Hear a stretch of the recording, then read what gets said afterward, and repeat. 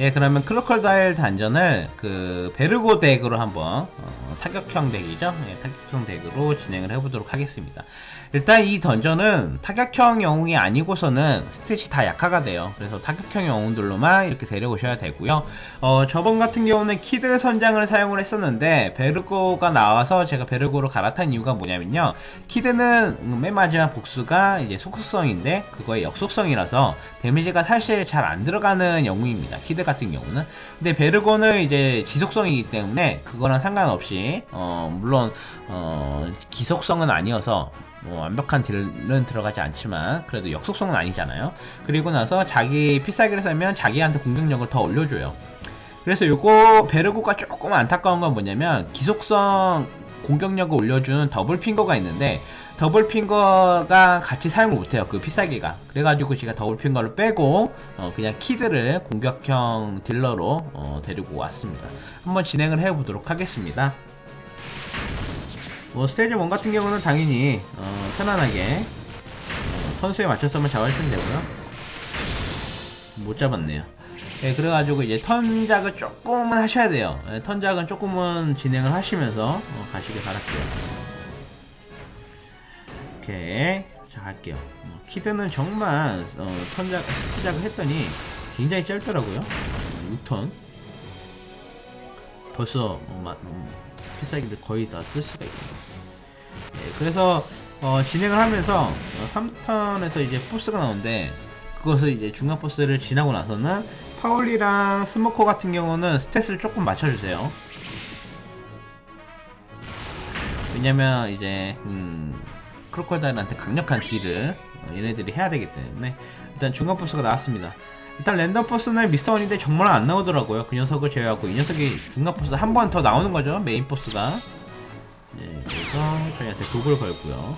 그리고 방어력이 높아집니다. 상태 이상 해제도 걸리고요. 그래서 4턴, 3턴 동안만 잡으면 될 거예요.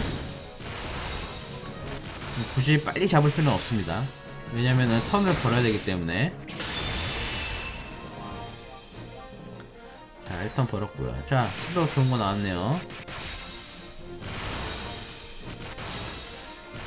이것은 어차피 이, 이, 이 크로콜다를 지나고 나서 기속성 슬롯을 맞춰줘야 되기 때문에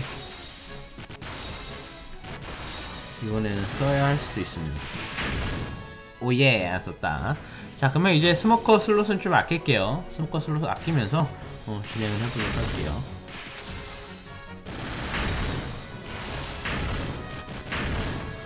오케이.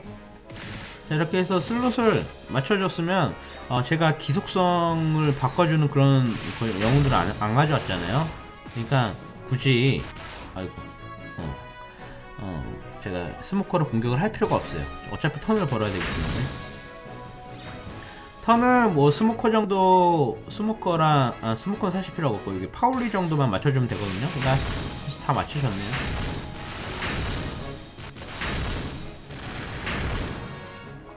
오케이. 자, 이제 이 턴이 지나면 보스입니다. 오, 파울리 맞춰줬네요. 안내만이 있더라도 파울리도 아끼겠어 자 이렇게 하고 여기 또 넘어갑니다 이제 이렇게 아껴요 아끼세요 음, 한 방에 죽이려고 자 이제 보스전 들어가면 크로커다일이 음 저한테 많이 뭐 이렇게 얘기를 하죠. 얘기를 하고 저한테 방어력 buff를 이렇게 겁니다. 자 여기서 저는 일단 슬롯이 굉장히 좋게 잘 맞춰졌잖아요. 그리고 제가 키드를 데려온 이유도 어, 슬롯을 강화시키려고 해요. 자기를 힘 속성으로 맞춰주는 필살기가 있어요. 그리고 마찬가지로 베르고도 두 영웅 마찬가지인데 모두 지로 바뀌고요. 자기 자신한테 공격력을 두 배로 올려줘요. 이것 때문에 더블핑거랑 같이 공격력 업을 사용하지 못합니다. 물론 다음 턴에는 더블핑거를 쓸 수가 있어서 제가 데리고 와서 써봤는데 사실 키드를 데리고 와서 아예 원턴에 끝내는 것도 괜찮더라고요. 뭐 원턴에 안 끝냈으면 다음 턴에 그냥 바로 잡으시면 됩니다. 자 그리고 나서 카쿠로 슬롯을 강화시켜 주시고요.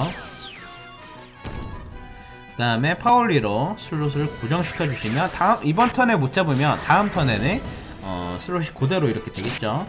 이렇게 해서 공격을 해보도록 할게요.